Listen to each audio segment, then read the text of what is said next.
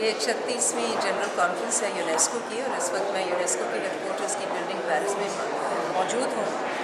اس conference کی کئی حوالوں سے بہت اہمیت ہے۔ سب سے پہلے تو یہ میں بات بتانا چاہوں گی کہ ہر دو سال کے بعد یونیسکو میں جنرل کانفرنس ہوتی ہے اور یہ ایک سو اس وقت ایک سو چورانوے ملک جو ہیں one ninety four one ninety four countries جو ہیں وہ یہاں پہ موجود ہیں۔ اور میں ون نائنٹی فور اس لیے کہہ رہی ہوں کیونکہ ساؤتھ سوڈان کی اس جنرل کانفرنس میں ایڈمیشن ہوئی ہے یونیسکو۔ ساتھ ساتھ بہت ہی اہمیت والی بات یہ ہے کہ فلسطین جس کے لیے ہم بڑی بڑے عرصے سے کوشش کر رہے تھے فلسطین ڈیلیگیشن کے ساتھ کہ ان کی بھی ایڈمیشن ہو جائے یونیسکو میں اور وہ یونیسکو کا ممبر بن جائیں۔ یہ تو بات واضح ہے کہ فلسطین کے جو لوگ ہیں، ان کا پورا حق جو ہے ایک اپنا ملک، اپنے ملک کے لیے، اپنی قوم کے لیے وہ سارے پاکستان کے ساتھ سارے اسلامی ملک جو ہیں، وہ اس کو مکمل حمایت دیتے رہے ہیں۔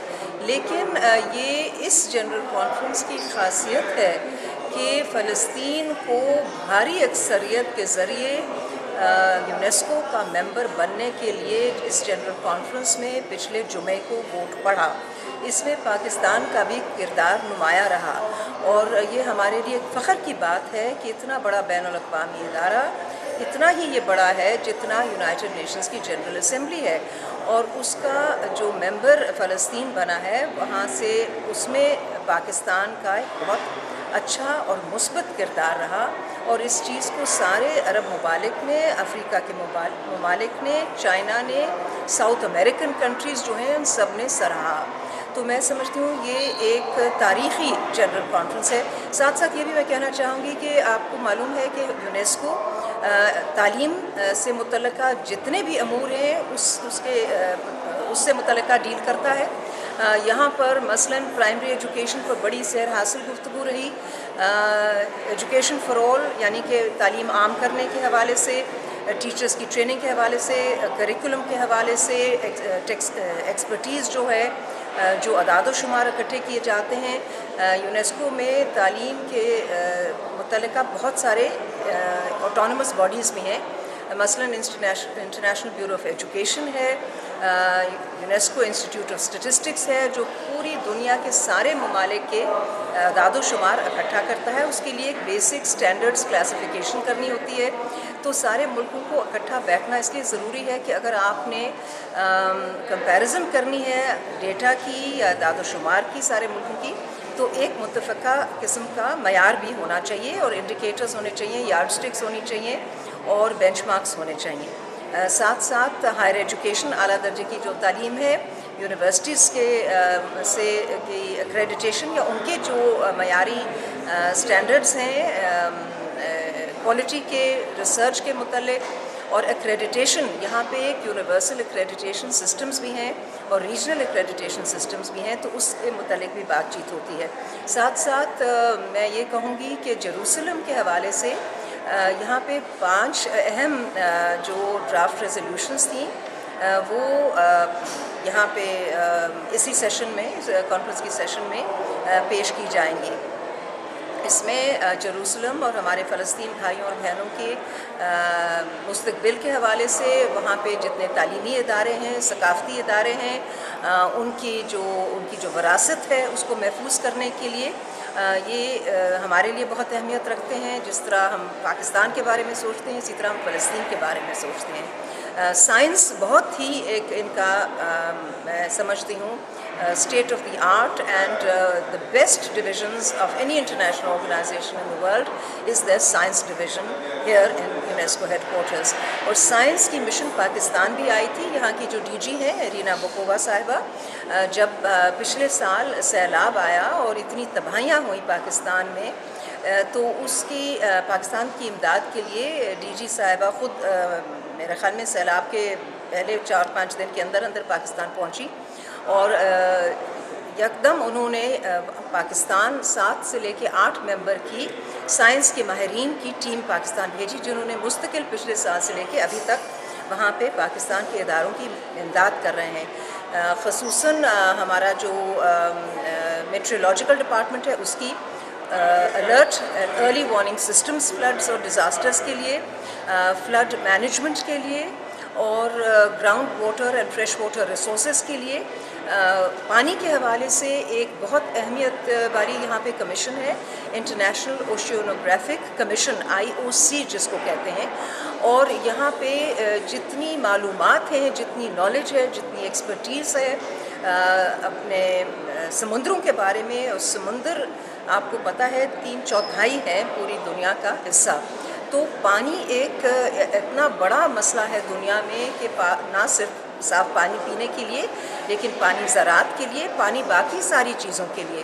کلائمیٹ چینج پر بھی یہاں پہ بہت ساری ڈسکشنز ہوتی ہیں۔ اور جیسے آپ کو معلوم ہے، بین الاقوامی اداروں میں جو ریاستیں ہیں ان کی ممبرشپ ہوتی ہے اور ہر ملک اپنے اپنے حوالے سے آ کر یہاں پہ اپنے جو مسئلے ہیں، مسائل ہیں، جو مستقبل کے ایشوز ہیں اور جو کامیابیاں ہیں اور جس طرح انہوں نے اپنے ملک کے مسئلے اور اپنے علاقے کے مسئلے حل کیے ہیں، وہ یہاں پہ آ کے پریزنٹ کرتے ہیں۔ اور یہاں پہ جو بحث ہوتی ہے ڈسکشن ہوتی ہے ڈبیٹ ہوتی ہے اور یہاں پہ قراردادیں جو ہیں منظور ہوتی ہیں اور قراردادیں انتہائی اہمیت رکھتی ہیں۔ کنونشنز بھی یہاں پہ ہیں۔ تو سائنس کے بارے میں بھی کنونشنز ہیں ہیومن رائٹس کے بارے میں کنونشنز ہیں، تعلیم کے حوالے سے ہیں اور ثقافت کلچر کی میں ضرور بات کرنا چاہوں گی۔ پاکستان میں ہماری وراثت جو ہے دنیا کے میں سمجھتی ہوں، چند ہی ایسے ممالک ہیں جہاں پہ اتنی ہماری، جن کی وراثت کئی ہزار سال پیچھے سے آ رہی ہے اور وہ ہمارے لیے بہت ہی قیمتی اثاثہ ہے۔ ٹیکسلا، موہنجو ڈارو، مکلی شالمار گارڈنز، روہتاس فورٹ، تخت بھائی اور بہت ساری ایسی تو چھ تو ہیریٹیج سائٹس جو کہتے ہیں، عالمی ثقافتی سائٹس جو ہیں ورلڈ ہیریٹیج سائٹس وہ پاکستان میں قیم ہیں اور ان کی پریزرویشن کے لیے رینوویشن کے لیے، دیکھ بھال کے لیے، ان کی بچاؤ کے لیے وہ مکمل طور پر یونیسکو واحد ادارہ ہے جو پاکستان کی امداد کرتا ہے۔ اب یہ بھی ضروری ہے کہ جو ریاستیں پیش پیش ہیں یہاں پر اور اچھی، اچھے طریقے سے اپنی ڈیلیگیشنز بھی بھیجتی ہیں اور صحیح طریقے سے یہاں پر یونیسکو کے جتنے ڈویژنس ہیں ان سے اپنے ملک کے لیے فائدہ لیتی ہیں، یہ تو اس ریاست پر مبنی ہے۔ کہ آپ کس حد تک اس ادارے میں آپ خود کنٹریبیوٹ کرنا چاہیں اور کس حد تک آپ اس ادارے سے اپنے ملک کے لیے فائدہ لینا چاہیں۔ تو میں یہ ضرور کہوں گی کہ پاکستان کی یہ خوش قسمتی ہے۔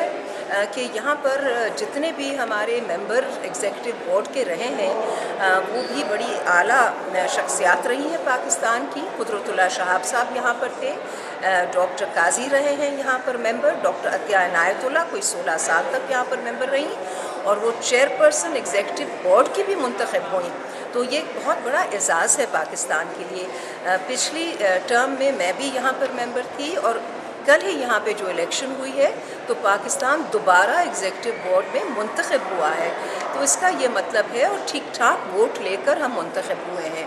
اس کا یہ مطلب ہے کہ پاکستان کے لیے عالمی سطح پر نہ صرف ہمارے علاقے میں اور مسلم ممالک میں، لیکن عالمی سطح پر بہت ہی اچھی حمایت ہے۔